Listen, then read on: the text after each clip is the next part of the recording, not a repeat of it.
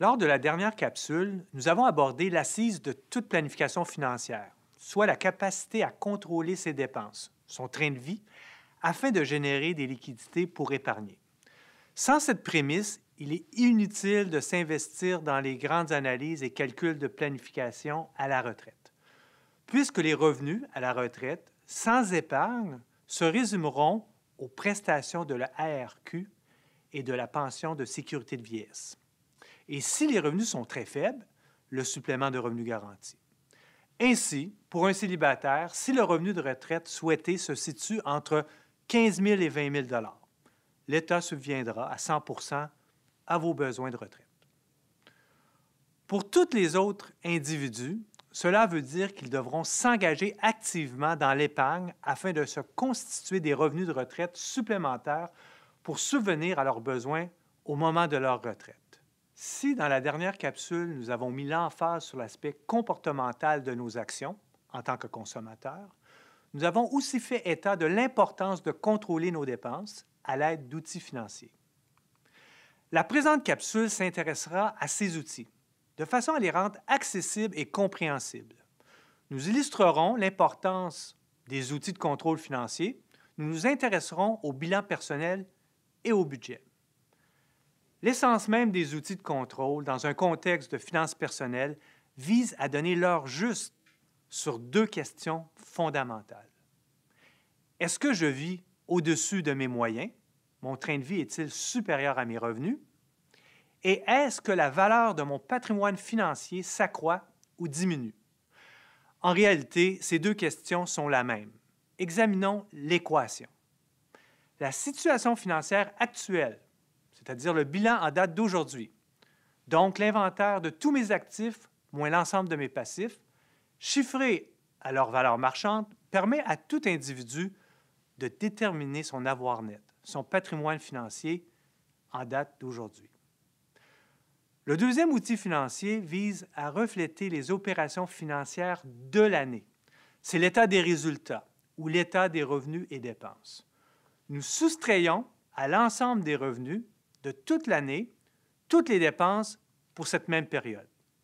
Un surplus des revenus sur les dépenses de l'année contribuera à augmenter l'avoir net de l'individu présenté à son bilan de fin d'année. Au contraire, un déficit des revenus sur les dépenses de l'année contribuera à diminuer l'avoir net de l'individu présenté à son bilan de fin d'année. Par une simple opération arithmétique, nous accédons à une nouvelle présentation de l'équation financière initiale. De cette façon, nous pouvons alors isoler et obtenir les résultats de l'année, les revenus moins les dépenses, en soustrayant l'avoir net présenté au bilan de la fin d'année et l'avoir net obtenu au début de l'année. L'objectif d'un tel calcul ne vise pas à remplacer une démarche complète de suivi budgétaire, mais plutôt à donner un estimé des résultats de l'année au prix d'un effort, disons-le, minime. C'est une première prise de conscience quant à la cohérence de notre train de vie en fonction des revenus que nous générons. L'effort requis pour arriver à un tel contrôle est minime, puisque la comparaison entre le bilan de fin d'année et celui du début de l'année ne demande qu'à comparer des informations financières qu'à deux dates données. Ce sont des photos. Prises à la première journée et à la dernière journée de l'année. Il faut comprendre que le véritable suivi des résultats et du budget vise quant à lui des informations financières qui s'étalent sur 365 jours. Prenons encore une fois l'exemple de Marie Trottier. Celle-ci, par un beau dimanche après-midi de janvier 2015, souhaite déterminer si son année 2014 a été déficitaire en termes de finances personnelles. Elle dresse donc son bilan personnel en date du 31 décembre 2014. La somme de ses actifs totalise 350 000 alors que ses dettes, son passif, se soldent à 140 000 Par la suite, en fouillant dans ses documents du début de l'année, elle arrive à préparer son bilan personnel en date du 1er janvier 2014. En vérité, les informations sont davantage disponibles en date du 31 décembre 2013. La somme de ses actifs totalise alors 345 000 alors que ses dettes se soldent à 120 000 À votre avis, quel sera le résultat financier de Marie pour l'année 2014? Un déficit ou un surplus? L'avoir net au 31 décembre 2014, en fin d'année donc, sera de 350 000 d'actifs moins 140 000 de passifs, ce qui correspond à 210 000 L'avoir net au 1er janvier 2014, au début de l'année, sera de 345 000 d'actifs moins 120 000 de passifs, ce qui correspond à 225 000 C'est donc dire que Marie Trottier a vu son avoir net diminuer de 225 000 en début d'année à 210 000 en fin d'année. Cela signifie qu'elle a subi un déficit de revenus sur les dépenses de 15 000 pour l'année 2014. Voici un premier outil de contrôle financier, le bilan personnel. C'est le reflet de notre situation financière à une date donnée. Il fait état de notre richesse, c'est-à-dire de ce que nous possédons, les actifs, et de ce que nous devons, les passifs. C'est un point de départ. Même un individu qui a un revenu annuel de 500 000 peut être dans un état de pauvreté et d'insolvabilité. C'est le bilan qui tranche la question. Des actifs totalisant 2 millions de dollars ne sont pas gages de richesse si nos passifs sont de 3 millions de dollars. Le bilan personnel est relativement simple à préparer et s'exécute assez rapidement puisqu'il présente des informations financières à une date donnée, plutôt que sur une période comme l'état des revenus et dépenses. Le bilan personnel s'exprime avec des montants qui représentent la juste valeur des biens. Quelle est la valeur et non le coût des biens à la date du bilan? Les actifs peuvent être regroupés en quatre grandes catégories de biens. Les liquidités, qui sont essentiellement composées de l'encaisse, le compte de banque, c'est ce montant qui fait état de marge de prévoyance en cas de situation financière imprévue, comme une perte d'emploi. Le fonds d'urgence à prévoir devrait permettre aux individus de subvenir à leurs besoins pour une période de trois à six mois sans revenu. Cette marge de manœuvre pourrait aussi se retrouver dans un compte CELI. La catégorie des placements quant à elle, regroupe la panoplie de fonds qui servent à accumuler et faire fructifier les épargnes en vue de générer des montants de rente à la retraite. De manière générale, sauf pour le régime enregistré d'épargne-études et parfois le CELI, ces fonds ne devraient pas faire l'objet de retrait avant la retraite. Ces placements sont le CELI, le régime enregistré épargne-études, le REER, le FER, le RPA, l'ARQ ou tout autre placement à long terme. Par ailleurs, les immobilisations sont constituées en majeure partie de la résidence principale, du chalet et des immeubles locatifs. Ces actifs, s'ils sont détenus à long terme, prennent de la valeur dans le temps.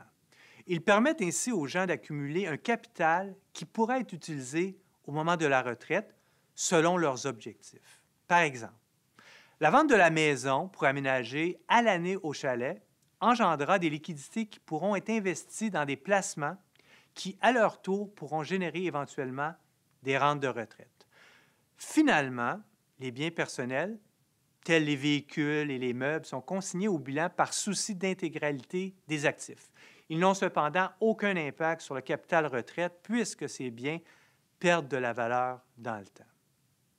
Finalement, l'autre portion du bilan personnel les passifs peuvent être regroupés en trois grandes catégories de dettes. Le classement se fait sur une base temporelle, soit le court, moyen et long terme.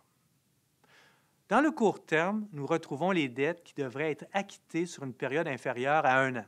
Bien sûr, c'est ici que l'on peut dresser un constat de déficit chronique lorsque ces dettes perdurent, voire augmentent. On y retrouve les marges de crédit et les cartes de crédit.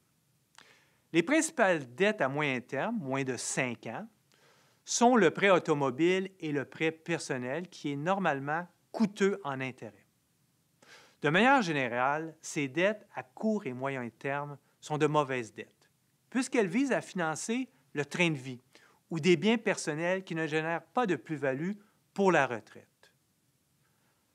Par ailleurs, les dettes à long terme, tels les prêts hypothécaires souscrits pour l'achat de la maison, du chalet ou d'un immeuble locatif, sont tout à fait normales et peuvent faire l'objet d'une bonne planification financière. Nous étudierons plus en détail les caractéristiques des prêts hypothécaires un peu plus tard lorsque nous examinerons dans les semaines à venir les enjeux financiers de l'acquisition d'une habitation. Après avoir déterminé chacune des composantes du bilan, nous voilà rendus à l'heure du verdict. Si la soustraction des actifs et des passifs totalise un montant positif, vous possédez alors un patrimoine financier, un avoir net positif. Si la soustraction des actifs et des passifs totalise un montant négatif, vous possédez alors un patrimoine financier, un avoir net qui est déficitaire. Ce qui veut dire qu'aucun revenu de retraite ne pourra être acquis tant que le patrimoine demeure déficitaire. Maintenant, un deuxième outil de contrôle financier, l'état des revenus et dépenses, ainsi que le suivi budgétaire qui en découle. Contrairement au bilan qui s'exprime à une date donnée, l'état des revenus et dépenses et le budget reflètent les transactions financières sur une période donnée. Normalement, l'année civile soit du 1er janvier au 31 décembre. Tout d'abord, distinguons l'état des revenus et dépenses et le budget. Il s'agit en réalité de la même information financière qui est présentée de la même façon. Il existe cependant une distinction fort importante. Le budget est une prévision des résultats anticipés alors que l'état des revenus et dépenses constitue la compilation des résultats réels. C'est donc dire que si l'établissement du budget peut s'effectuer en quelques jours, la tenue de l'état des revenus et dépenses nécessite quant à elle une comptabilisation régulière tout au long de l'année des transactions. C'est un travail qui demande discipline et engagement, mais qui peut permettre à des individus et des couples d'atteindre leur objectif financier et d'accéder à une pleine autonomie financière au moment de la retraite. La première étape vise donc à établir les prévisions de l'année, le budget. Il est préférable de présenter cette information sur une base mensuelle. De cette façon, il est plus facile de se référer aux informations de l'année précédente, voir état bancaire, les factures, les relevés de compte, afin d'établir un premier budget. L'établissement d'un budget ne peut être qu'un exercice mécanique de compilation de chiffres. Pour être efficace et ne pas être le fruit que d'une pensée magique, il se doit d'être réfléchi et conduire à des actions concrètes. C'est cette phase de réflexion où l'on prend la décision de reporter l'achat d'une nouvelle voiture de deux ans, où l'on convient qu'un voyage à Hawaï, c'est un peu cher pour nos moyens, qui est de loin la plus difficile de toutes. Examinons les principales composantes de l'état des revenus et des dépenses et du budget. Tout d'abord, nous avons classé les revenus en trois catégories ceux en provenance du labeur, du travail, soit les salaires, les revenus de travailleurs autonomes et les revenus d'appoint, ceux qui sont propres à la retraite, les diverses rentes, régime de pension privé de l'employeur. Environ 40% des travailleurs au Québec sont munis d'un tel régime. Les REER, les FER, nos efforts d'épargne, la RQ, la pension de sécurité de vieillesse et pour les moins nantis, le supplément de revenus garanti ceux se rapportant au placement et à la famille, soit la prestation fiscale pour enfants, les paiements de soutien aux enfants, les revenus de location et les revenus de placement qui sont à l'extérieur des abris fiscaux tels les REER et les CD. Bien sûr, puisque nous comparons nos revenus avec les dépenses et que celles-ci sont toujours exprimées en dollars après impôt, nous devons soustraire à nos revenus l'impôt à payer. Examinons maintenant les principales dépenses d'un ménage, nous les avons classées en six catégories. L'habitation, la plus importante après l'impôt, correspond à peu près à 20, de 20 à 30% de vos dépenses. Le transport, il ne faut pas oublier qu'une voiture est un coût important, facilement 5 000 par année, toutes dépenses considérées. L'alimentation, avec son lot de dépenses récurrentes où il y a souvent beaucoup de gras que nous pouvons couper. Les communications, important de revisiter nos forfaits et comparer à nos besoins, et les dangereuses autres dépenses. Après tout ce beau travail accompli lors de l'établissement du budget, les nombreuses résolutions qui ont été prises pour arriver à épargner, l'heure est maintenant au résultat. Avons-nous atteint nos cibles budgétaires? Seule une comparaison avec les informations réelles nous permettra de le savoir. Il faut donc, dans l'étape ultime, tout au long de l'année, comptabiliser les chiffres réels de nos dépenses. Cette étape essentielle correspond au suivi budgétaire de notre année financière. En résumé, il convient d'établir un budget excédentaire, de contrôler et d'atteindre les cibles budgétaires et ainsi se dégager des montants qui nous permettront d'investir et de se constituer éventuellement une rente de retraite. À tout dire, c'est la fable de la cigale et de la fourmi, c'est l'idée de l'autonomie financière. C'est l'assurance de pouvoir débourser jusqu'à son dernier souffle sans souci financier selon ses propres valeurs et objectifs.